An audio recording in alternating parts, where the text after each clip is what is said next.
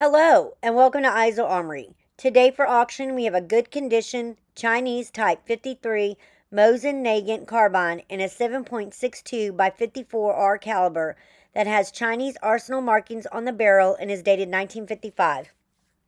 This carbine is import marked on the right rear of the receiver and has all matching serial numbers, including the barrel, bolt, and floor plate. The butt plate is unnumbered.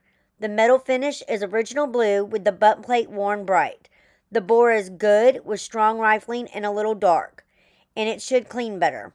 The stock has been refinished and possibly arsenal done, showing some normal handling marks.